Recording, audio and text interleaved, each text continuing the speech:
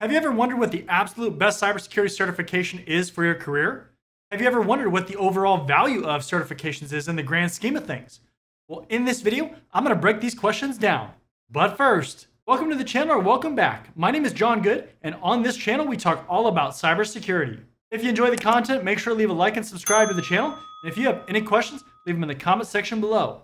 Also, make sure to check out the description for more training and resources. All right, let's do this. If you've ever watched any of my videos or even YouTube videos in general about certifications, then you know that there's a ton of them that you can add to your resume for various subjects. From basic security knowledge certifications like the Security Plus from CompTIA, to penetration testing for those hackers out there like the OSCP, all the way to security management with the CISSP. The question that always comes up from aspiring professionals and students, all the way up to seasoned veterans that are looking to take their career to the next level, is what's the best cybersecurity certification to get and how valuable is that certification in the market? Well, first, I want to step back for a few minutes to talk about something that can actually be a pretty difficult concept to grasp for most people because we tend to look at things with tunnel vision when it comes to our careers. This is what I like to call a cybersecurity career continuum. First of all, with the continuum, it all comes down to perspective, where adjacent steps or back to back steps, like year to year, might not matter, but the beginning and the end are extremely different. For example, you and I will most likely see the career path of a CISO or a Chief Information Security Officer very differently. You might see what seems to be a very coherent and straight line progression path that led them to that position of a CISO. I might see the exact same person, but then I see the trial and errors of different roles and the development of specific skills. Again, the point is that the in between steps, like year to year, aren't drastically different. However, the beginning and the end are clearly different. When we take this idea and we translate it into your career, you must understand that as things continue to evolve in cybersecurity, your path is very likely to have twists and turns, getting you to your end goal in, say, 20 or 30 years if you're on the younger side. Today, you might enjoy penetration testing, but in five years, you might enjoy project management. If you don't remain flexible in your approach, you're likely going to become as obsolete as Windows XP. Now let's look at the value of certifications over a career. And as you can see here on the screen, I have a graphical representation of this. But when you start out in your career, certifications are at an all-time high importance. Typically, more certifications are better, but every single certification matters in setting you apart from your peers. A Network Plus might be the difference between you actually getting a job versus not even getting hired. As you progress over time, certifications begin to be less important because you have more experience and that allows you to take on more responsibilities. For example, maybe you have 10 years of experience and you get a management job, and that employer only cares about you having a CISSP because you aren't going to be the one that's configuring firewalls or performing penetration tests. Now, to clarify, with technical positions, your certifications are still going to matter, especially if they're for vendors like Cisco or AWS and so on, but you become much more focused on specifics instead of needing to cast that wide net like you do when you first start out. Now, turning to the diagram that we have on the screen here, you can see that at zero years of experience, certifications are extremely important. And then as you get more experience, they become less and less important until you get to, say, like 30 years or more of experience. And then certifications really don't mean anything because you have so much experience and so much time in positions with information security and cybersecurity that you can handle pretty much any situation. Now, I don't want you to necessarily burn these numbers into your head, but keep in mind this is a graphical representation of the value of certifications over your career. Throughout your career, I want you to consider these factors to help you decide what's going to be the most valuable certification for your career at the current moment or in the future. So, compliance requirements. For example, the DoD 8570 or the 8140 are compliance mandates that require you to hold certain certifications if you want to do business with the US military. Contract requirements. These might include a specific certification to show competency in a certain subject. The contract might even say that you have to have something like a CCIE in security as an example. Customer requirements.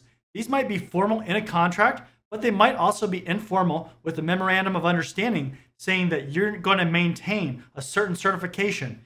If you work at a consultant company, you might have customers that actually want you to have certain certifications in order to be hired. I hope you're enjoying the content so far. If you are, make sure to leave a like and subscribe to the channel. And if you think of any questions, leave them in the comments section below.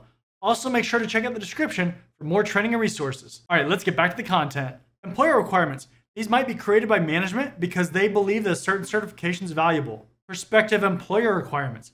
These come into play if you're going to be looking for another job. A good way to find this information is to look at job postings from companies. Increasing value in areas that your team doesn't have.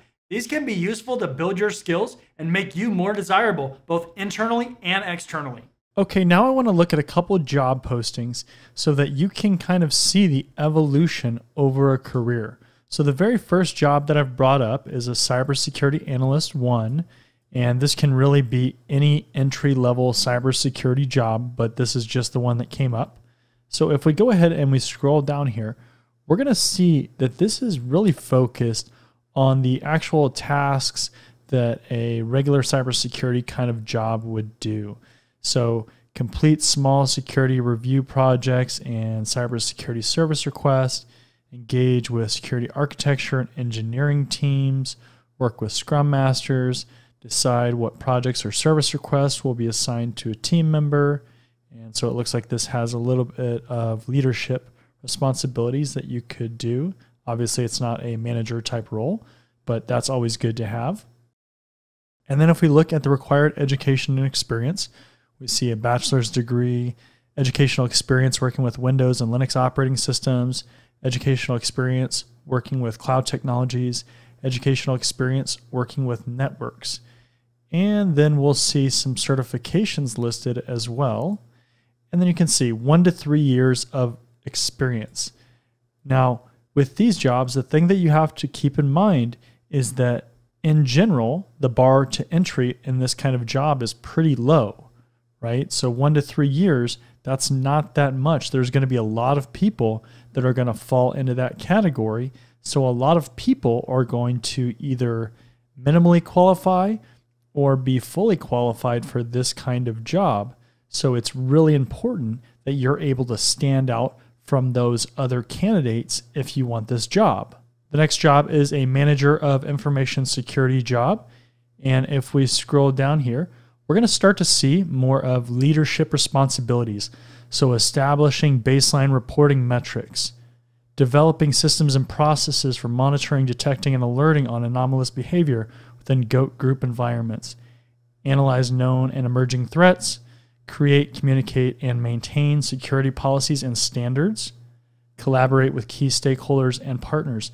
The idea here is that you're not necessarily going to be a hands on person anymore in a lot of managerial type of jobs. So you're not necessarily going to need to have that configuration ability. You're going to need to be able to direct other people in what they're going to do. And if we scroll down here, we start to see different compliance requirements, and that's very in line with that type of job. Five years of hands on management experience. Now, something else that I want to point out too is depending on the company, some companies with manager jobs, they will have more hands on requirements.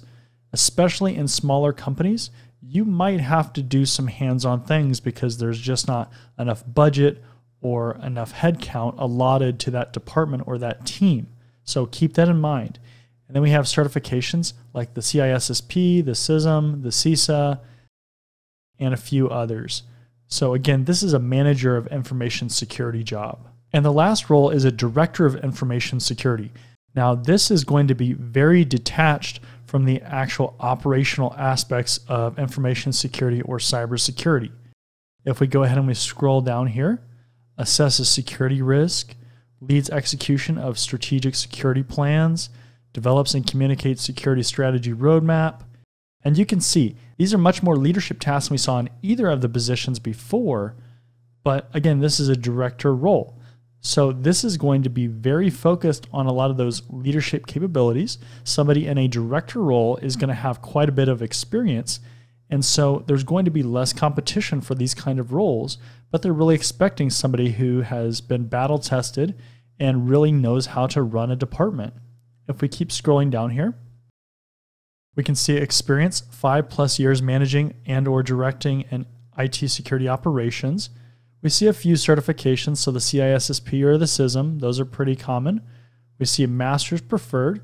That's pretty typical with a lot of these high level jobs. You'll see in these entry level jobs like the cybersecurity analyst one, where maybe a degree is preferred, but it's not necessarily required. And again, you have to really stand out from the competition if you want that kind of job. When you start getting into these higher level jobs, there's much more pay at risk, there's much more responsibility in this kind of role. So they're going to require quite a bit more as far as degrees and really experience. Question of the day Which cybersecurity certification do you think is most valuable in your career right now? Let me know down in the comment section below. So, with all that being said, which certification is the most valuable?